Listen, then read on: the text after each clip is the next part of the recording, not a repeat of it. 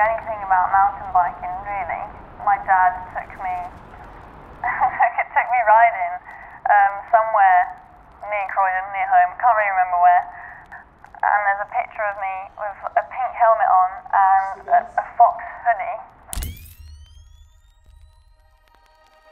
A couple of weeks before, we went to like this skate jam or BMX jam, and I had bought it with my own pocket money, and I was like so stoked.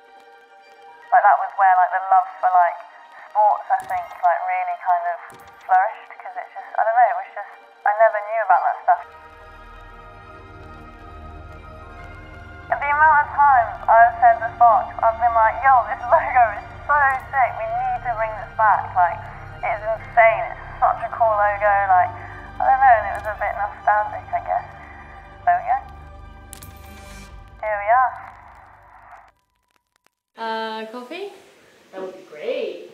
Fridge? Definitely know where the fridge is in here. Yes.